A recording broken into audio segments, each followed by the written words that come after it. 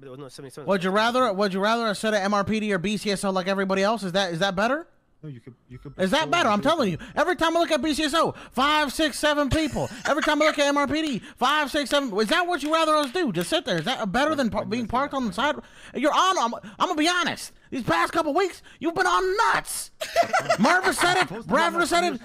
No, but you're just wow. Everywhere I go, I see am you. on I your t- list. I've taken. I I, how many? I, I will show you ten pictures of everywhere I go. You're always there, somewhere on the corner, looking, watching, blip watching me, cock watching. You're doing everything. You're bouncing on it. You're jumping on my nuts. I'm crashing out because I'm tired of it. Crash out. I know, I know. But Did you see this? brother. You're bouncing on it. You're jumping on it.